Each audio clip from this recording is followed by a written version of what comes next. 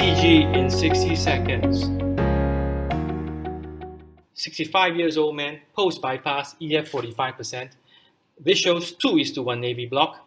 In conducted P waves, the PR is 200 milliseconds. There is right bundle branch block and right axis deviation, giving rise to a bifascicular block.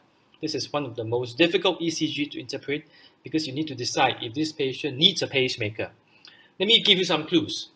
If the conduction block is at the node, it is safer and he may avoid a pacemaker. If you see that the PR interval is 300 milliseconds or more, likely to be AV node.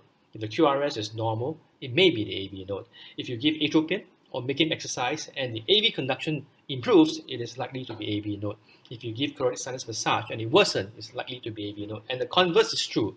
If the PR interval is normal, QRS is wide. If you give atropine or make him exercise and it gets worse, with carotid sinus massage improves, it's likely to be His bundle and he needs a pacemaker. We put a His bundle recording for this patient and you could see there are two P waves to one QRS with His deflection showing a infrahisian conduction abnormality. This patient needs a pacemaker. This has been ECG in 60 seconds.